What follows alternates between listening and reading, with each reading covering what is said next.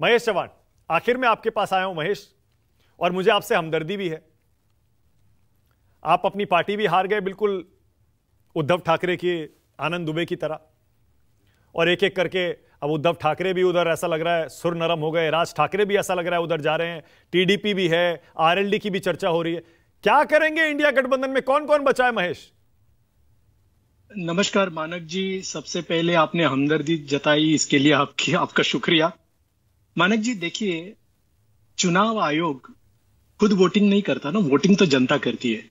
इसके लिए हमें बिल्कुल चिंता नहीं है। चुनाव आयोग भले कुछ भी निकाल दे, लेकिन जनता, महाराष्ट्र की जनता, अपने देश की जनता हमेशा अन्याय के खिलाफ खड़ी रही है और इसके आगे आगे भी खड़ी रहेगी और जनता देख रही है किस पर अन्याय हो रहा है।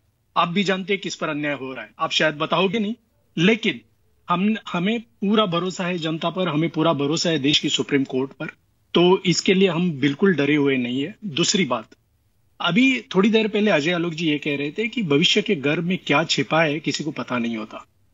लेकिन आदरणीय प्रधानमंत्री जी ने तो भविष्य के गर्भ में घुसकर ये आंकड़ा बाहर निकाला कि वो 370 वोट्स 370 सीट्स ये टाइम जीतने वाले हैं। तो शायद वो ईवीएम के गर्भ में घुस गए होंगे। शायद उसके लिए उनको पता चल गया होगा। लेकिन अगर इतने कॉन्फिडेंट है कि 370 सीटें सिर्फ़ बीजेपी की आएँगी और 400 पार एनडीए की आएँगी तो ये सब आरएलडी यू उद्धव ठाकरे सेना इनकी क्या ज़रूरत है? उनको क्यों लेंगे वो? जैसे कि अभी अजय आलोक जी ने कहा शायद स्वार्थ के लिए लेंगे। उनको पूछिए क्यों चाहिए उनको? क्या 545 का आंकड़ा पार करना है क्या उनको? क्यों चाहिए बाकी के लोग उनको? इतना जिनको जिनके साथ इनकी नहीं बन रही है जिनको इतने रोज सुबह शाम गालियाँ एक दूसरे को दे रहे हैं और अभी मैं ये कहना चाहता हूँ बहुत सारी बातें की गई अजय आलोक जी की तरफ़ से परिवारवाद की बातें की गई। बाद में Mahesh Mahesh one second one second वो अजय आलोक का जवाब दे दीजिएगा। लेकिन आपको लग रहा है कि उद्धव ठाकरे भी जा सकते हैं पलटी मार सकते हैं नीतीश कुमार की तरह? अगर एक नाथ शिंदे जी एमवीए में आएँगे तो शायद उद्धव ठाकरे जी उधर जाएँगे। ओ मतलब आप ये कह रहे हैं एक म्यान में दो तलवारें नहीं आ सकती।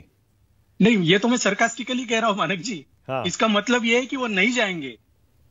पूरा यकीन है आपको?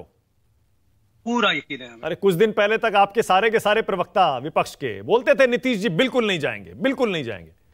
अब इतना कॉन्फिडेंस मत दिखाइए। नीतीश नीतीश जी गए क्योंकि वो इंडिया आघाड़ी के संयोजक नहीं बन पाए और दूसरी तेजस्वी यादव उन पर भारी हो रहे थे। उनको शायद लग रहा था थोड़े दिनों बाद उनको मुख्यमंत्री पद तेजस्वी यादव को देना होगा। शायद इसके लिए वो गएँगे। और एक बात मुझे कहनी यहाँ पर बहुत घमंड दिखाई दे रहा है आज मुझे। वो घमंड कितनी बार इंडिया जैसे इतने अच्छे नाम को घमंडिया घमंडिया अरे अपने देश का भी नाम है। हमारा गठबंधन का नाम है तो क्या वो अपने देश का भी नाम है। थोड़े प्यार से ले लो थोड़े okay. रिस्पेक्ट से ले लो। अच्छा और आरएलडी भी जाएगी या नहीं जाएगी? क्या लग रहा है आपको? मुझे नहीं लगता आरएलडी भी जाएगी। अभी बीजेपी को ज़रूरत नहीं है क्योंकि वो बोल रहे हैं उनको अपने खुद के बल पे 370 सीटें मिलने वाली है। राज ठाकरे लेंगे भाई वो और मैं आपसे इसलिए पूछ रहा हूँ राज ठाकरे के बारे में क्योंकि आप तो महाराष्ट्र की पार्टी हैं। नहीं नहीं, राज ठाकरे भी मुझे नहीं लगता जाएँगे। जाना होता तो बहुत पहले जा चुके होते। अभी मैं ये भी नहीं कह रहा है कि वो एमवीए के साथ आएँगे। उनकी अपनी अलग विचारधारा है, उनकी अपनी एक अलग स्पेस है। वो स्पेस में वो खुश है। क्यों उन्हें इधर उधर आप भेजने चाह रहे हो? ओके सुजाता, उसके बाद अजय।